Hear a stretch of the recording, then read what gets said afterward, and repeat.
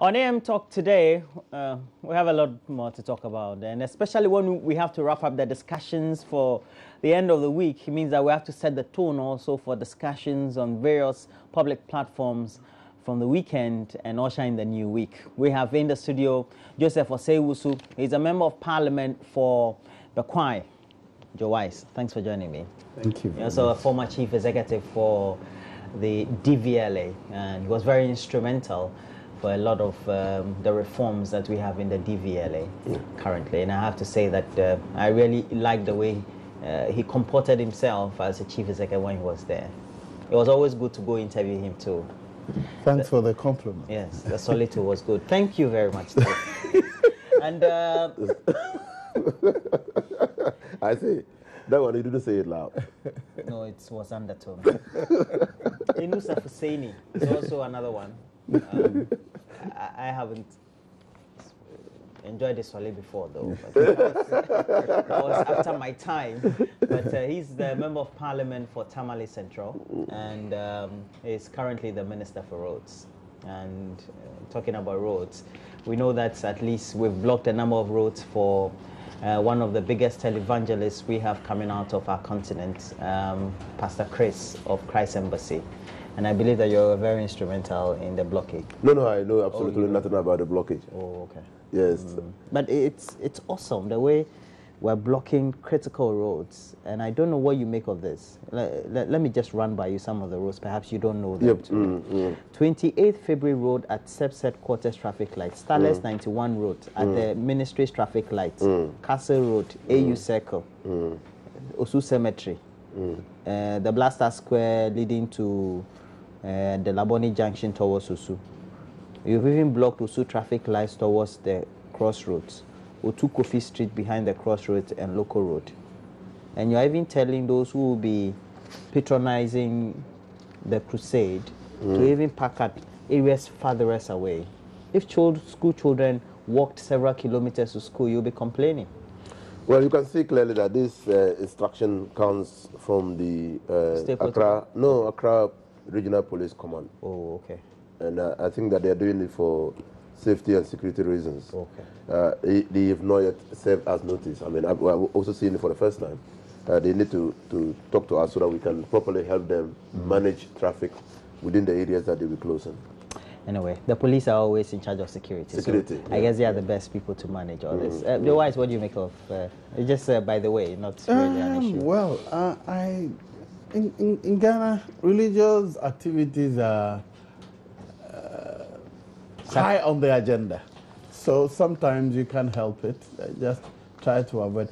If I were the manager of the city, though, I would have asked them to relocate if it's going to um, affect free flow of traffic and business.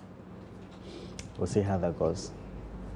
Anyway, now let's talk about the substantives. And we know that uh, the people of Agogo have been having difficulties flashing away the Fulani herdsmen. And uh, uh, we know that the Ghana police also announced a roadmap uh, to make sure that they deal with the issue head on. And so the IGP took a trip to Agogo. We're, we're going to bring you just a summarized uh, story of what we saw there, and then we'll have some uh, few minutes of discussions on the subject. Busy streets of Agogo Township bustles with activity as men and women engage in their daily work to keep their families afloat. On the outskirts of the town, however, the picture is very different. Many of the natives and sojourners are into farming, but their farms are under attack and destruction.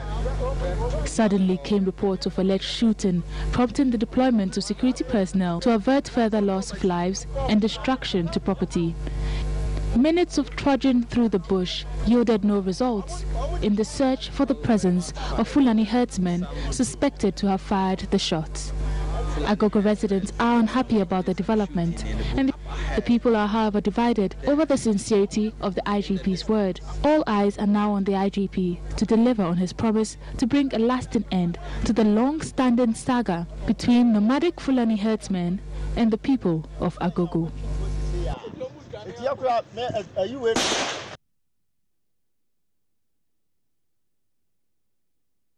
I, well, we all don't know what to make of it. The sound of gunshot alone should tell us that it's an issue that we need to deal with uh, as far as security is concerned. Joe Wise, I have to start with you. okay, good morning. Morning. Uh, this issue has been a long-standing one. It, it, to the best of my knowledge, uh, I was dealing with residents accused of counter-attacking when I was a private practitioner. Some of them, the MPs had contacted me and I was defending them because they had, um, a resident had been killed and they had mobilized to counter-attack and trying to um, respond on their own. But you see, for me, it's a major security issue that should be put at a much higher pedestal in, in the discussion of the national security issues. Because the, the press conference that was organized and which was addressed by the MP, the impression one gets is that this is a community that are giving up that the country will protect them. Therefore, they will take arms. Now, if they, they, they succeed in doing that, and even succeed in uh, expelling the invaders, I call them invaders because otherwise these are quite rural folk living in their, in their own peace you know, and then they are attacked by cattle uh, tenders. Right. If they succeed in expelling them, they will be emboldened in holding themselves out as responsible for their own security and endanger the security of the country. And that's why I think that this wishy-washy approach to dealing with the matter should cease. We should have um, um, um, a well thought out plan because it, it likes when it catches national attention, there are public discussions, it goes down. As soon as the eyes and ears of the media are taking off, it resurfaces. Often, the pitch is heightened when people die. But those who are raped and property that are destroyed do not often catch media attention. It is when murders occur that the media. Uh, are those are those cases isolated or and sporadic, or, or really they are they, they are uh, dense as they could be in terms of numbers that we should be concerned about. They are. I mean, because because we have uh, people who who undertake rape uh, and and do all kinds of things eh, and, and, and are hauled before the court every day who are ordinary Ghanaians and necessarily not Fulani herdsmen. But the situation over there is different. I'm sure you'd have heard a report about the pregnant woman and in the presence of her husband said, we want to sleep with your wife.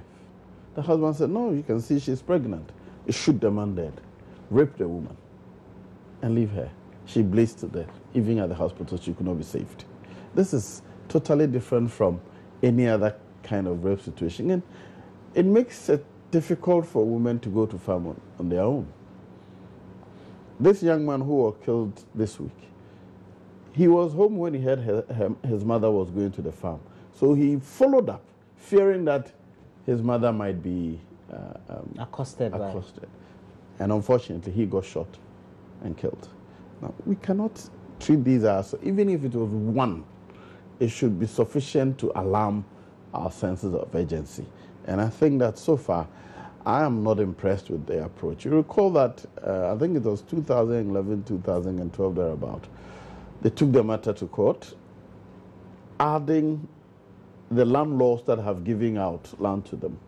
That's how they got judgment that they should be evicted. First, they are there because some landlords have given out large tracts of land.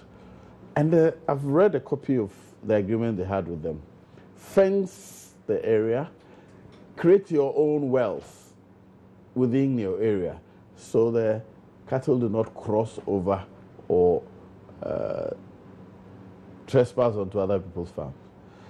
The cattle owners have not done that. Rather, they have continued to use nomadic herdsmen who move. And because of this, the court ordered that you should evict them. In fact, the landowners, the chiefs, actually wrote that you have breached the agreement. You have not fenced your uh, the land released to you. You have not created the DAG, so you have breached the agreement, and therefore um, we are resiling from the agreement. And based on that, the court ordered that they should be evicted. That order went to the Regional Coordinating Council. So the Regional Coordinating Council has all the power to be able to um, evict the the uh, um, the cattle owners who have acquired the, the land there. But it appears to me that we are not taking it seriously enough. Um, I had a chat with the regional police commander, and his argument was that it's not easy because the people move. But they move and come back to their huts and houses wi- within the area. Okay. If those guys are removed from there, they will not have any basis for coming Group back of there. people, nomads. Uh, some of them, of course, are sedentary. The Fulani, we have, we have two types of them. Yeah. But uh, the whole of the belt, the Sahelian belt in West Africa, you just can't take them off. And now we're supposed to be living in, uh, in, in globalized villages around the world. So where do we take this matter? Well, uh, we're supposed to be living in a globalized village. I mean, uh, the world is becoming more globalized and, and more exacerbated more by climate change situations. What is happening is a direct result, a manifestation of climate change issues. I mean, the and what we are experiencing is a fight over resources. And people have predicted that the next world war might be over climate change issues. Now, for, for because the rains have sto- stopped falling in the Sahelian region, in the up the the uh, I mean where we used to call Upper Volta, where these floods were uh, prevalent, Or, the, originally. originally they, they they started drifting to the areas where they can continue to tend their cattle, and, and drifted past the northern region, and past the upper region. Upper region is almost now a desert. Drifted past the northern region, gone into the Brong Ahafo region. They are now in the Ashanti region. And wherever they go, you find in, the, in their wake security issues. Because they are nomads, they live in the bush. And so it calls into, into question what our security agencies have been doing to contain them. And, and again, where do you evict them to? Do you march them across the border To where? and then tell them to find their way back to where they came from originally? Niger, Where do you- Mauritania. So where do you send them to? well, they're, That they're, is why- they're citizens of countries. That is why we, they are nomads. that's, that's why we need to take proactive steps when issues of this nature begin developing. Now, some of the local indigenous have acquired their animals. They bought some of their animals. And some are now their employees, looking after their animals. And they are complicit in protecting them. They are nomads in the first place. How do you fence them? The agreement was not implementable in the first place. They are not used to keeping and in ranches. They graze over wide areas of fields, traversing areas of lands that are owned by different landlords, put under different cultivation, I mean, cultivation of diff- or different uses. So it's a major security threat. Nothing will stand in their way. They live in the bush. And because we don't stay, I mean, we, we, most of our activities are in towns, they accost individuals, individual persons in the bush. And an individual cannot stand against them in the bush. It's just similar to what used to happen in the Galamsey. When you allow foreigners, non natives, to take over your resources, they will protect the resources with illegal means. And that's what happened. Uh, the, the, the IGP went there. Well, while that was symbolic enough, is that uh, a start of having perhaps a plan, which we know as far as the communication is, is virtually absent because we've not been told about how systematically we're going to deal with the Fulani herdsmen and perhaps also make sure we have a truce between them and the settler co- uh, and the communities that they get to settle. Well, I think that basically this is a regional problem. It must be tackled from the regional point of view, from the ECOWAS point of view. Countries must learn to take responsibility for the behavior and actions of their citizens. These people are from. I mean, if Ghana, Niger, Mali, Burkina Faso do not collaborate in solving this issue, we are not going to be able to deal with it. So I, I think that we should look at it as a, a regional problem and deal with it as such. Get the citizens of, I mean, we are not saying that if we have resources, if we have fodder, and then the Fulani herdsmen want to graze their cattle, and we have more than enough. Sometimes we even bend them, and and they, they want to move down. There must be some systems in place to regulate their conduct. And their re- re- respective countries must know that this country is a country of laws. That you cannot come as a citizen of another country to behave with impunity. What is happening in Agogo area is pure impunity. Now, I do not yet see how the, the IGP, acting by himself alone, can solve this problem. Even, Law- even with the police establishment that he has. How can you use law and law and order will temporarily dose the issue, will make the issue subside. It won't go away. Uh, what, what, the traditional leaders, because the people they come to meet or the community they come to meet are not the police, the police community, so to speak. They come to meet the traditional community, and so when you get to a town, the chief would have to notice that they are in, and so somehow the chief should should have been aware that they are in. No, you see, first they were brought there because some cattle owners, they are Ghanaians, they acquired tracts of land to build ranches. Okay, That's how they came there. okay, Large tracts of land, acres, to build ranches. That's where the agreement comes in.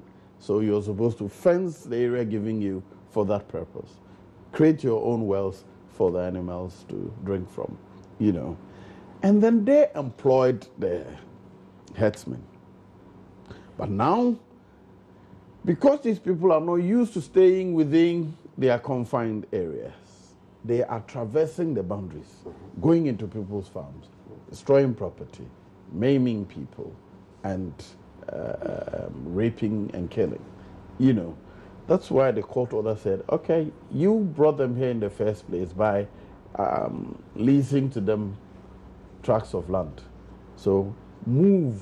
That the order for me is not should not be targeted at the uh, the herdsmen, Okay. but at the owners of, Of the land. cattle. Okay, the cattle. Okay, move your cattle. yeah. Move your cattle elsewhere. Go and get your ranch elsewhere. where?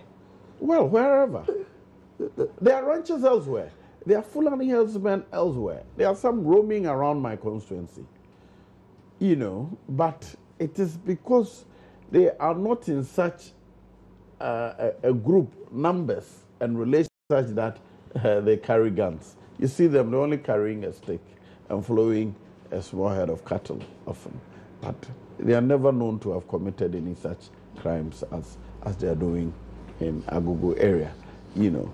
And indeed, if you want to rear large uh, herd of cattle, then you need to create a ranch protect the bounds so they don't destroy other people's property. And for me, the, the issue of where, it should be a question answered by those who want to be in that business. When you decided to have a, a, a, radio program, you found the where. That's a business. You invested in property, whether you bought it or rented it, that's it. So those who want to be in that business must make sure that they invest in, in, in that business, protect the area they acquire so that the cattle will stay. And the people they, they hire, they should take responsibility for them. That you have hired these herdsmen, brought them into the premises. They must know that these are offenses. Now, to the point where now we have uh, a member of parliament, for example, uh, now having to come to some level of animosity or perhaps confrontation with the regional police heads. That's uh, almost as if it's uh, No, The- well, we won't call it. the, uh, th- the threshold. Uh, well, it is one because the people are angry. They are calling to arms. There's a, there's a call to arms. Lord, let's rise and protect ourselves. That's Right. their constitutional right. Then The, co- constitutional right to be protected, but to, it's, Not to to protect the- yourself. yes, but but but not the right to call for arms. That's that's Ah, not. how do you protect yourself, pro- property, uh, yourself and your property? The law permits you to kill even an invader in protection of your life and your property. You're entitled to do that. So the only thing is that if you have you acquire firearms, then you must register it. Yeah. You're right. So, And- but the point is, it is out of desperation. That's what I st- where I started from. because there's been a certain lull or still stillment. in which, or stalemate the in which communities believe the security agencies have not taken action in the they believe place. that the security agencies have been compromised. No, it's You not. mean, your you mean, you mean the said Fulani, the Fulani herdsmen have been giving them uh, cattle as bribes? Not the herdsmen, no, no, the no. owners of, They've of- been given- of- yeah. They've been compromised. Yes. In fact, there's a, a, a judge who was then at the Attorney General's department. She's now a judge. She was part of the team that was originally put together to help a victim by the Regional Coordinating Council. And she said that, look, these people, even while they were there trying to enforce the law, the people were making them offers. They believe that every public official is buttable. And that's why they are not afraid. I see. You know, so the That's- people. that's quite mean, revealing. Your report said it that the people are divided Yes. as to whether the IGP's visit will uh, result in any good thing. The reason, why have they become cynical? Because there have been other interventions, and they that have believe not worked in the past. Right, Or they in believe recent that the public officials are complicit. Okay. The, the,